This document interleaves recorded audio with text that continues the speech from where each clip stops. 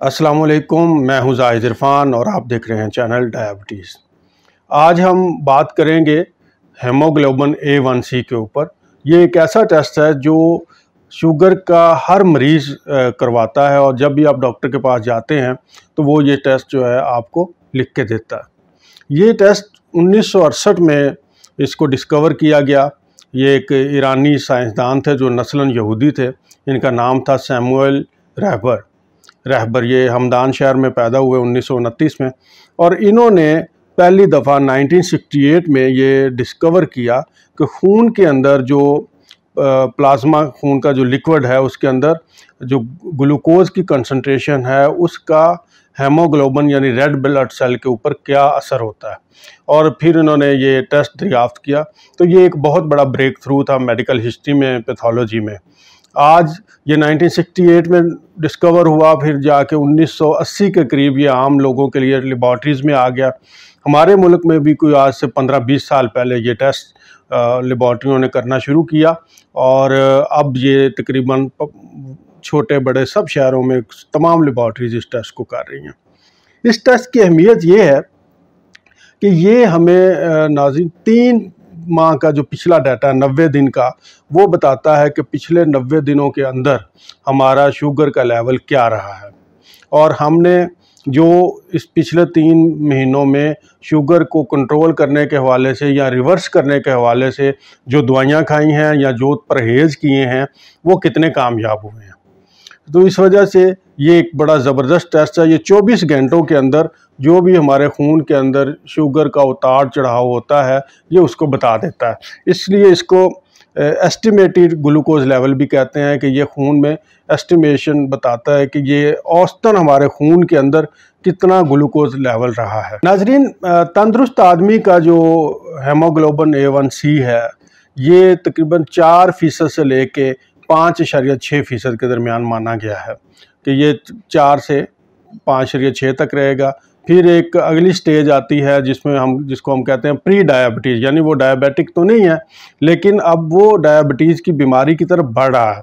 तो उसका पाँच इशरिया सात फ़ीसद से लेकर छः इशरिया चार फ़ीसद तक अगर आता है हेमोग्लोबन ए वन सी का लेवल तो कहा जाता है कि ये बंदा, या बंदी प्री डायबिटिक है।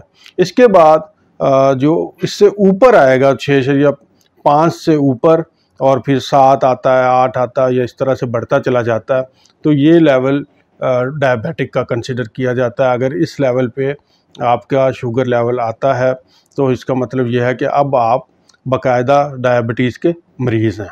अच्छा हमने इसको किस लेवल पे रखना है? ये ज़रा देखने वाली बात है। ये जो पाँच इशारिया छः तक की इन्होंने दिया हुआ है कि इस, यहाँ तक अगर शुगर आपका आ जाता है हेमोग्लोबिन ए वन सी तो ये नॉर्मल है। इसको आप डायबिट प्री डायबिटीज़ नहीं समझेंगे। लेकिन ये मेरा ख्याल ये है कि ये ऊपर सेट किया हुआ है। क्योंकि अगर हम इसको कन्वर्ट करें जो शुगर लेवल है तो एक तंदुरुस्त आदमी का शुगर लेवल जो होता है, वो तकरीबन जिसको डायबिटीज़ नहीं है और वो बिल्कुल तंदुरुस्त है, उसका खाली पेट या किसी वक्त भी आप शुगर लेवल चेक करें तो वो अस्सी पचासी मिलीग्राम पर डेसीलीटर होना चाहिए। जबकि अगर हम पाँच या छः को कन्वर्ट करते हैं मिलीग्राम पर डेसीलीटर में, ये तो एक सौ छब्बीस सताईस मिलीग्राम पर डेसीलीटर बन जाता है, जो कि काफ़ी ज़्यादा है। तो इस वजह से आप अपनी जो भी मेडिसिन ले रहे हों या जो भी एहतियाती तदाबीर कर रहे हों, आपका गोल ये होना चाहिए कि आपका हेमोग्लोबन ए वन सी पाँच से लेके पाँच इशारिया पाँच तक रहे। इसका मतलब ये है जब पाँच है तो आपका एवरेज एस्टिमेटेड ग्लूकोज लेवल 97 100 होगा और अगर पाँच या पाँच है तो 110 11 के अराउंड होगा। इस लेवल के ऊपर हमारा जो ग्लूकोज का लेवल है इस पर वो हमारे ऑर्गन्स को, हमारे हार्ट को या किडनीज को या आइज़ को या हमारे पाँव को मुतासर नहीं करता। जैसे ही इससे ऊपर होना शुरू होगा तो फिर ये आहिस्ता आहिस्ता हमारे अज़ा को डैमेज करना शुरू कर देगा। नाजरीन, अब हम समझते हैं कि ये टेस्ट है क्या चीज़। हेमोग्लोबिन बुनियादी तौर पे हमारे खून के अंदर जो सुरख रंग का मादा है, इसको हेमोग्लोबिन कहते हैं। और ये जब सेल के साथ चिपक जाता है, जिसे सुरख खुलिए कहते हैं रेड ब्लड सेल कहते हैं। तो ये, इसका काम ये होता है कि ये हमारे लंग्स से, हमारे फेफड़ों से ऑक्सीजन को लेके हमारे जिसम तक पहुंचाता है। अब होता ये है कि जब हमारे प्लाज्मा के अंदर प्लाज्मा क्या है? जो खून का माया है, जो लिक्विड है, उसके अंदर ये हेमोग्लोबिन भी रेड ब्लड सेल चल रहे हैं, इसके साथ ग्लूकोज भी आ रहा है। तो ग्लूकोज जो है जो शुगर है, वो रेड ब्लड सेल के साथ चिपकना शुरू हो जाती है। इसकी मिसाल आप इस तरह से समझ लें कि आप लोहे की कोई चीज़ बाहर खुली फ़ज़ा में रख दें तो उसके ऊपर जंग लगना शुरू हो जाता है। तो जितना अरसा वो पड़ी रहेगी, उसके ऊपर जंग की कंसंट्रेशन बढ़ती जाएगी, उसके ऊपर जंग की कोटिंग बढ़ती जाएगी। इसी तरह से जिस बंदे का लेवल जितना ज़्यादा खून के अंदर शुगर का लेवल होता है, उतना ही ज़्यादा उसके जो खून के सुरख खुलियाँ हैं, यानी रेड ब्लड सेल हैं, उनके ऊपर ये चिपकना शुरू हो जाता है। और ये जब एक दफ़ा शुगर चिपक जाती है रेड ब्लड सेल के साथ यानी ये ग्लाइकेशन हो जाती है जैसे टर्म, मेडिकल टर्मिनोलॉजी में कहते हैं ग्लाइकेशन हो गई। तो फिर ये साफ़ नहीं होती ये चिपकी रहती है। और ये जो रेड ब्लड सेल है हमारा इसकी एज है तकरीबन तीन महीने नब्बे दिन। इसलिए ज, ये जब हो गया एक दफ़ा हेमोग्लोबिन के साथ चिपक गया ग्लूकोज का मालिक्यूल तो फिर ये जब तक उस सेल की लाइफ है तब तक ये चिपका रहेगा। जैसे ही सेल डेड होगा, ये ख़त्म हो जाएगा और नए सेल आ जाएँगे उसकी जगह पे। इसलिए इस टेस्ट को तीन महीने के लिए परफॉर्म किया जाता है। यानी तीन महीने तक सेल की लाइफ है, जैसे ही सेल डेड होगा, नए सेल आएँगे, उसके साथ साथ ये फिर बढ़ना शुरू हो जाएगा। तो इस वजह से इसको हर तीन माह के बाद करवाया जाता है। इस टेस्ट के लिए जो खून है वो बाजू से वेन के अंदर से निकाला जाता है। इसकी कोई ख़ास तैयारी नहीं, आप किसी वक्त भी जाके अपना ब्लड सैंपल दे सकते हैं। और आप एक अपनी हिस्ट्री मेंटेन करें कि पिछले तीन माह पहले जब आपने दिया था और जो आपने एहतियाती तदाबीर इख्तियार की थी, उन एहतियाती तदाबीर के सिलसिले में आपका जो हेमोग्लोबिन ए वन सी है, वो कितने परसेंट है?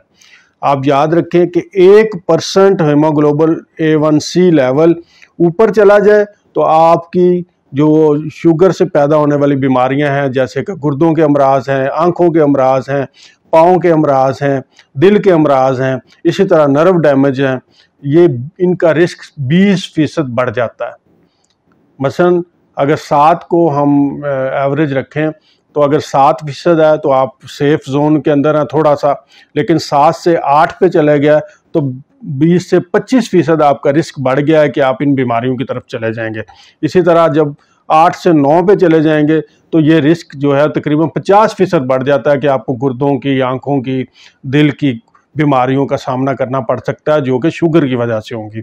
इसी तरह से अगर ये नौ दस फ़ीसद हो जाए, ग्यारह फ़ीसद हो जाए तो फिर वो मरीज़ हंड्रेड परसेंट इस रिस्क के ऊपर चला जाता है कि उसे दिल की बीमारी भी हो सकती है, उसके गुर्दे भी ख़राब हो सकते हैं, उसका पाँव भी काटना पड़ सकता है और उसकी आँखें भी डैमेज हो सकती हैं। इसलिए इस टेस्ट को आप बड़े ही एहतियात के साथ मॉनिटर करें कि आप पाँच शरिया पाँच के पास से रखें।